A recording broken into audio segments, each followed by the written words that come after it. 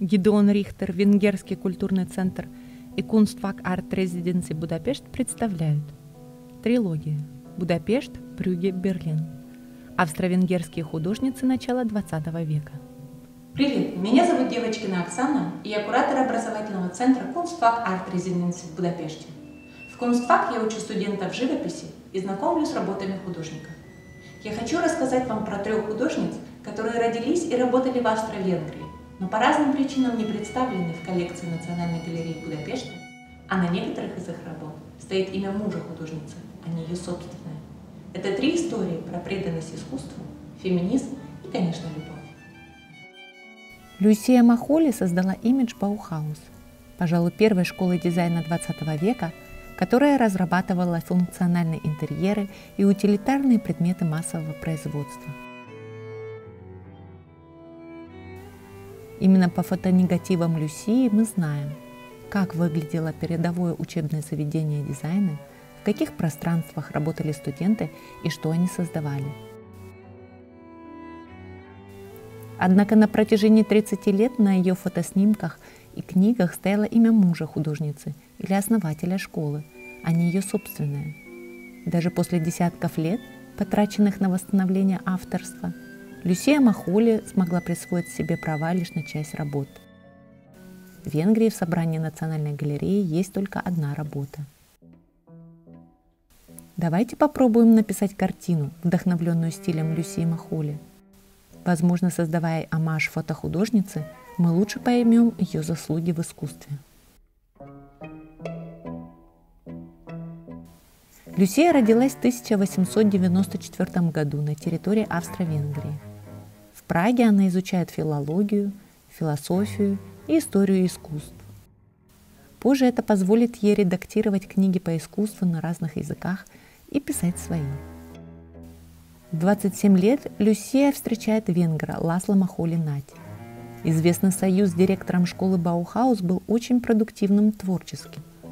На протяжении восьми лет они экспериментировали с фотографией, светом, фокусом, оптическими эффектами – и композициями без использования камеры, фотограммами. Однако в школе Баухаус они оба жили лишь на ставку Ласла Махулинаде. Официально трудоустроена там была лишь одна женщина на текстильном отделении. До 1929 года фотографы из школы Баухаус не имели профильного образования – что позволило Люси не ограничивать себя стандартами XIX века, а создавать смелые неповторимые решения. Так, ее портреты выстроены не в анфас или три четверти, как делали это раньше, а под разными углами и с неравномерной освещенностью. В целом, куда менее предсказуемое, чем это было принято раньше. Кстати, именно Люсия сделала самые известные фотопортреты своего мужа – Историк искусства Ирина Кулик упоминает портрет Ласла в комбинезоне как лучший снимок, отражающий его подходом к дизайну в Баухаус. Практичный и функциональный. Люсия Махоли становится последователем движения «Новая вещественность», художественного течения в Германии во второй половине 1920-х годов, когда художники стремились воспринимать вещи такими, каковы они были на самом деле, без идеализации и романтики –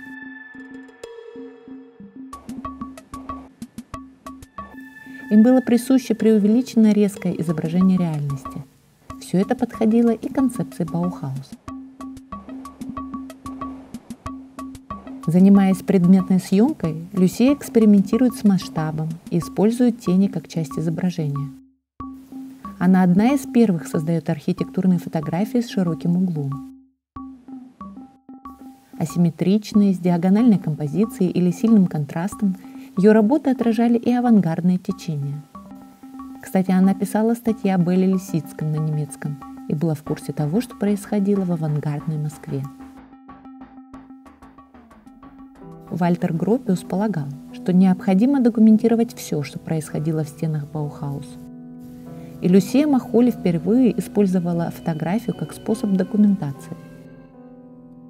Фотографии попадают в книги, брошюры, плакаты о Баухаус – делают школу популярной. Благодаря снимкам Махоли в школу пришли заказчики рекламной съемкой. благодаря чему школа выжила, когда в стране был кризис. Люсия создает серию фотографий пространств и зданий Баухаус и использует архитектурные фрагменты как часть абстрактных изображений. В ее руках экспозиция, контраст окон и стен становятся инструментами для построения ритмического изображения. В 1925 году Ласло Махулинать публикует книгу «Живопись, фотография, фильм», где не указывается авторство жены. Это дало трещину в их отношениях. В 1929 году она разводится с мужем, переезжает в Берлин, а бывший декан Баухаус Йоханнес Итон берет ее на кафедру фотографии преподавателем. Однако работа Люсии в Берлине длится всего 4 года. Нацисты арестовывают ее партнера за коммунистические взгляды и в целях безопасности она больше не возвращается в квартиру. Там остаются все ее негативы.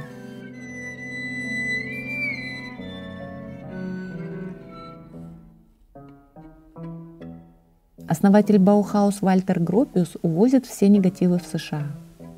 В 1938 году он открывает ретроспективную выставку Баухаус MoMA в Нью-Йорке на основе 50 снимков Люсии Мохоли – но ни разу не указывает ее авторство. Сохранилась и переписка Люсии и Вальтера, где она тщетно просит вернуть ей авторство. После войны Люсия посвятит годы, чтобы отсудить свои негативы и статьи у Группиуса. Но даже выиграв суд и получив часть негативов обратно, Люсия по-прежнему боролась за то, чтобы вернуть своим работам свое имя. Благодаря Люсии мы знаем, чем был примечателен Баухаус – кто в ней преподавал и какие предметы создавал. Без нее Баухаус остался бы на задворках истории и в памяти тех, кто там учился и работал. Ее архив ценен не только как каталог учебного заведения. Люсия Махоли была одним из первых фотохудожников, которые создали стиль и имидж эпохи.